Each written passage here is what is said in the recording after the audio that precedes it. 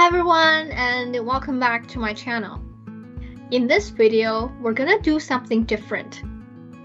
Instead of reading a story, I am going to introduce to you to a new way of reading. And this is different from the normal approach taught in school where you are required to read from start to finish of a passage, um, article, or a book, word by word this new approach requires you to use your conscious and your unconscious mind to read. And when I'm talking about the unconscious mind, I am talking about the instances where you have set aside the material for a night and come back to it, and all of a sudden you are able to solve problems that you weren't able to solve previously. Imagine using that kind of brain power to read on and absorb anything and everything that you want to read. There is actually a methodology to this end, and that is called the photo reading by Paul Scheele. And this procedure breaks down the whole reading process down to five steps. First, you want to prepare and be clear with your reading purpose. Preview the materials that you're about to read. Photo read with emphasis on the areas that are of most interest to you. Activate by actioning and reflecting upon what you have read. And rapid read to wrap up and review. By following these steps, you would not only be able to absorb vast amount of information in a short period of time, but also identify commonalities among different perspectives, raise unique perspectives from your own, and action upon them and yield results in a short period of time. By doing so, it would not only give you a competitive advantage at school or work, it will also give you the most efficient time management and self growth because it allows you to bypass your comprehension speed, which is usually the bottleneck of capping your normal reading speed, and reduce any distraction that might distract you from your reading. So let's find out each of these steps together. The first stage is prepare. In this stage, it is not only important that you be clear with your reading purpose, but also make sure that you are comfortable and relaxed. Most importantly, make sure that you are entering into a focused learning mode. Research indicates that fixing one unit of attention on a single point helps you effectively focus your other available units of attention when reading. Where you fix your point of attention is important. For example, when driving a car, the best point of attention is on the road, not on your hood ornament or the bumper on the car in front of you. For the efficient reader, the ideal point of attention is just behind and above the head. A tangerine technique helps locate and maintain the ideal point of attention and instantly create the relaxed, alert state of body and mind we desire for reading. Here are some of the steps that you might want to follow. Hold an imaginary tangerine in your hand. Experience the weight, color, texture, and smell of the tangerine. Now toss it into the other hand and catch it. Toss the tangerine back and forth between your hands. Now catch the tangerine in your dominant hand and bring it to the top back part of your head. Touch that area gently with your hand. Imagine feeling the tangerine resting there while you bring your arm down and relax your shoulders. You can pretend this is a magic tangerine and it will stay in place no matter where you put it. Gently close your eyes and let the tangerine balance on the back of your head. Notice what happens to your physical and mental state as you do this. you will feel relaxed and alert. With your eyes closed, imagine your field of vision opening up.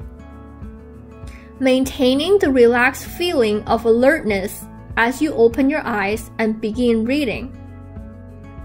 The next stage is to preview. Preview the written material that you are looking to read. Plan about 30 seconds to 5 minutes for this activity. Survey the written material and pull out trigger words that are 5 to 10 for articles and 20 to 25 for books from the written text.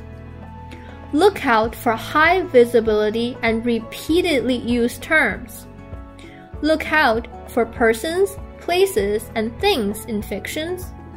And terms in the back index of your book with the most page numbers listed. In this stage, you can review and decide your goals for going further.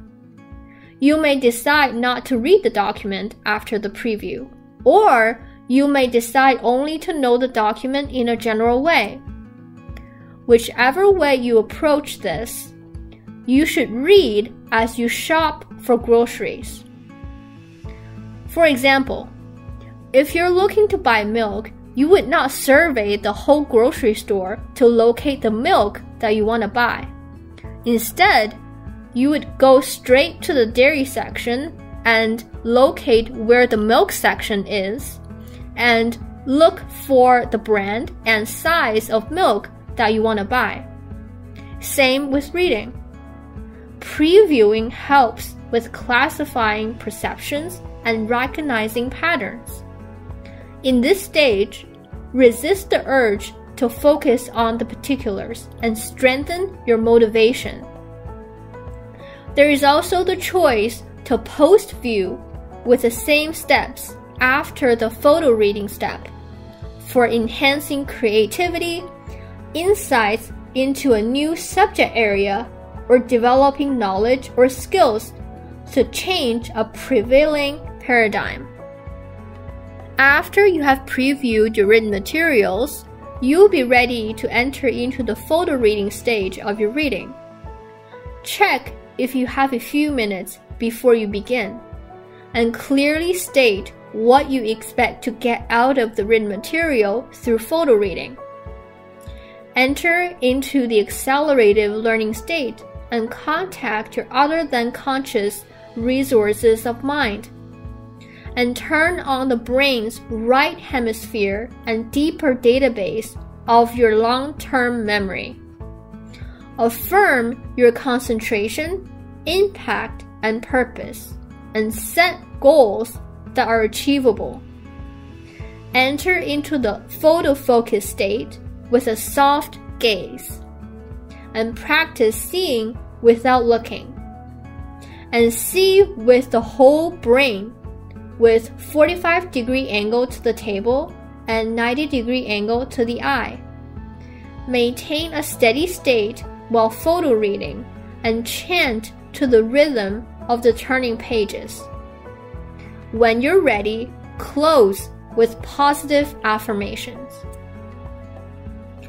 You may consider photo reading before sleep, since the mind reviews information during sleep state taken in below the conscious awareness.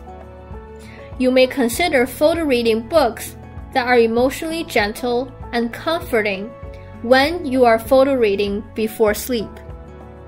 After you have photo read your written materials, you are now ready to enter into the activate stage of your reading, where you are to restimulate new neural connections you created by photo reading and this can be broken down into spontaneous activation and manual activation, where spontaneous activation is without conscious effort, as it is the automatic connection to past experiences and neural patterns already existing in your brain, whereas manual activation uses actual text as catalyst for restimulating the brain. Post viewing can be an excellent transition into activation, as It is where you are to formulate questions you want to answer but don't read to answer yet. As you build curiosity and strengthen desire to build neural connections. You would recall at the beginning of this video that I have referenced instances where you have set aside materials for a night and come back to it the next day, and all of a sudden you can solve problems that you weren't able to solve previously. And you should use the same practice in photo reading. So dismiss information after photo reading and post viewing for at least 10 to 20 minutes, ideally overnight and ask yourself questions and discuss with others on what's important to you in the book, article, or report, and stimulate curiosity. And find the best ways and means to achieve your purposes for the materials that you are exploring. And don't expect immediate answers as your conscious mind shuts off access to the vast unconscious database of your brain super read and dip would help with the activation process. Turn to sections of the text that attract you based on visual cues as you follow the structure of the text. Like a Superman coming down to Earth for the first time, you should dip into the text, reading a sentence or two until you have received your needed information, then resume super reading. Limit to a paragraph or two at a time for articles, or a page or two for books. Use soft and open gaze to allow eyes to move more smoothly down the text. Follow intuitive signals on where to look. Read for thoughts, feelings, and ideas, not words. Do not worry about all the details, as only 4 to 11% of the text carries the essential meaning, according to Russell Stauffer. Look at topic sentences and look for cues in the first and last paragraphs of a five paragraph theme. Follow the author's train of thought, as your brain is already skilled at searching for cues by ninth grade.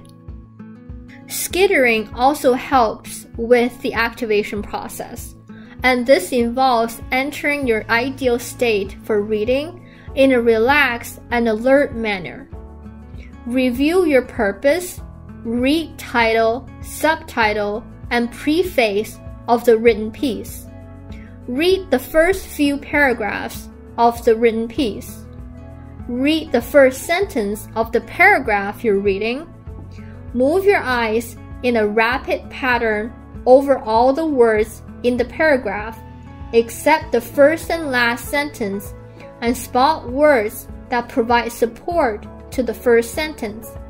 Follow circular pattern clockwise or counterclockwise, or move from center out or from edge to the center. Read the last sentence if you're unclear. Read the last few paragraphs completely read the summary if there is one, review and reflect on what you've read, and create a brief mind map of your own words to describe the written piece.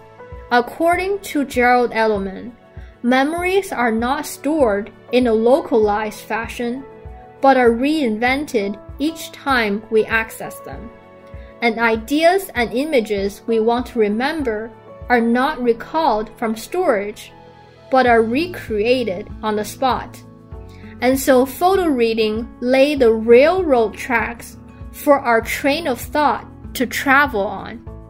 After you have completed the activation stage, you might consider rapid read to wrap up and review, where you would move swiftly through the text from start to finish and skip paragraphs that you have already read or that contains information that is too simple or redundant, or that is a section that is unimportant for your purpose.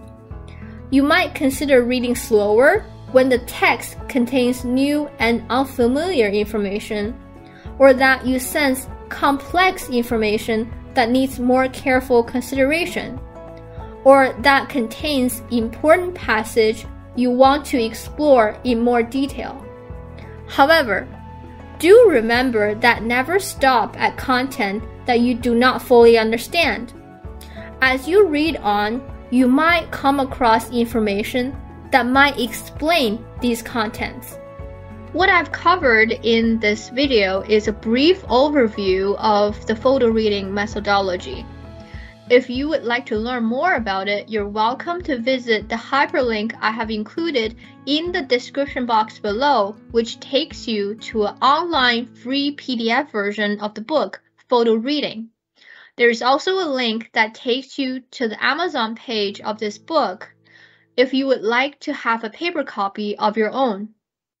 If you're interested in how the brain works and how to read better in general, you're welcome to visit my Substack page and let me know what kind of pain points are you experiencing in your own reading exercises and what kind of topics would you like me to cover in the future. I hope you enjoyed this video. I'll see you next time. Bye!